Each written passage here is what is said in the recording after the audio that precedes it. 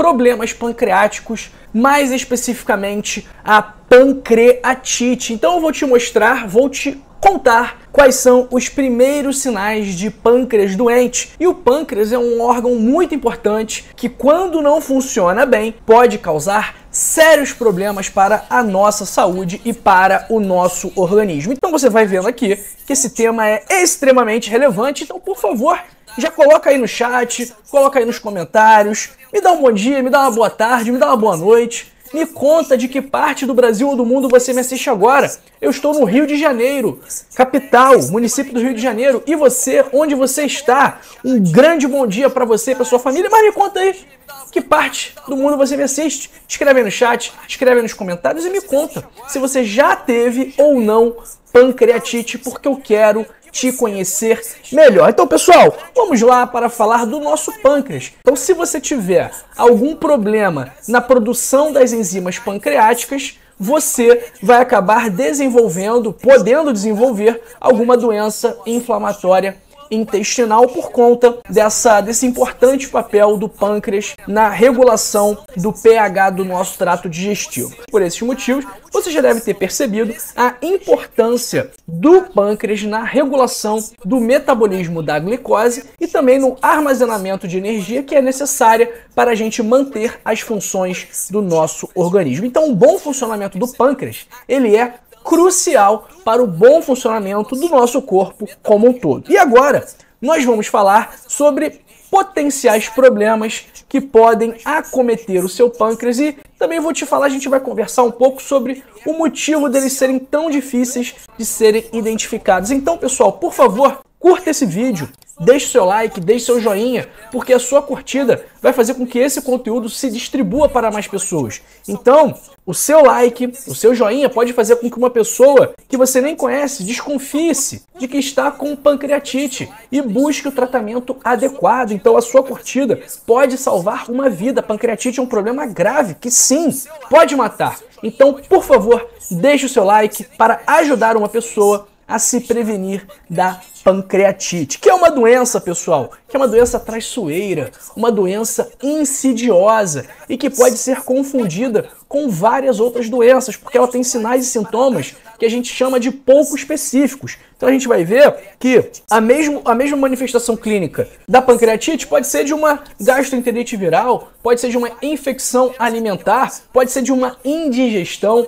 Então, essa doença que pode ser aguda quando ela começou ali naquele momento e está com um pequeno tempo de evolução, ou crônica, quando ela vai se arrastando ao longo de semanas, meses e, por que não, anos. E quais são os sinais e sintomas da pancreatite? São dois principais. O primeiro são os vômitos biliares, né, os vômitos com conteúdo biliar, que geralmente é mais esverdeado ou até mesmo amarronzado, e também uma dor na parte superior esquerda do abdômen, e também pode causar icterícia, que é o amarelão, então os olhos vão ficar amarelo, a pele vai ficar amarela, a base da língua vai ficar amarela. E como eu falei, a pancreatite, por conta desses sinais e sintomas, pode ser confundida com uma hepatite, pode ser confundida com uma infecção alimentar, e isso, principalmente se for, se a pessoa achar que está com enjoo por conta de algo que comeu, ou se acha que está com uma gastroenterite viral, isso vai fazer com que a pessoa não busque atendimento, vai fazer com que a pessoa não busque a emergência. Isso é perigoso, porque durante uma crise de pancreatite,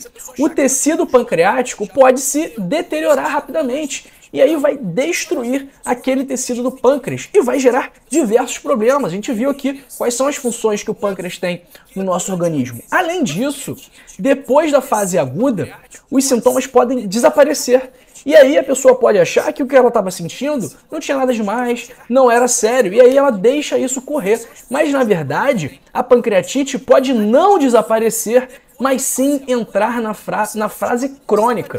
E na pancreatite crônica, o pâncreas gradativamente, gradualmente, perde a sua função, à medida que o tecido pancreático é substituído por tecido conectivo. E aí pode chegar num ponto, pessoal, em que não há mais volta. E aí a pessoa vai desenvolver diabetes, a pessoa vai ter problemas hormonais, problemas digestivos, problemas tireoidianos. Então é por esse motivo que a gente tem que tomar muito cuidado com a nossa saúde pancreática. Quais são os outros sinais e sintomas de pancreatite? dor na parte superior esquerda do abdômen, como eu falei, que pode irradiar para as costas e simular e ser confundida com alguma dor de origem renal.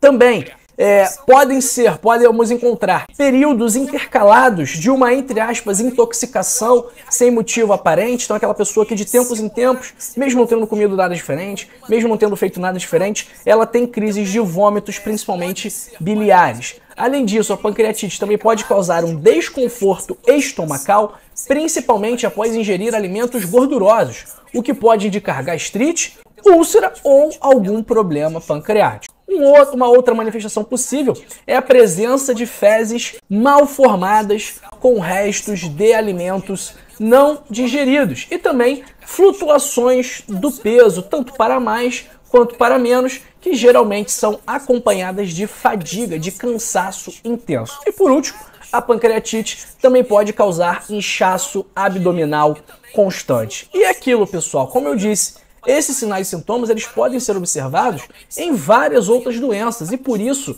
caso você esteja passando por isso, é fundamental que você busque atendimento médico se estiver sofrendo com algum desses sinais e sintomas. Doutor João, quais são as causas de disfunção pancreática? Quais são os motivos que fazem com que o meu pâncreas não funcione tão bem como ele deveria? Primeiro, consumo excessivo de alimentos gordurosos, de gorduras ruins, de fast food, de junk food, de lasanha congelada, de hambúrguer, de pizza. Tudo isso vai contribuir para prejudicar o seu fígado, assim como o consumo excessivo de álcool. Uma das principais causas de pancreatite é justamente o consumo excessivo de álcool. O também o estresse faz um estrago no seu pâncreas, da mesma forma que a genética também sempre tem uma participação, por menor que seja. Nós teremos um problema. Aliás, nós não. Você vai ter um problema.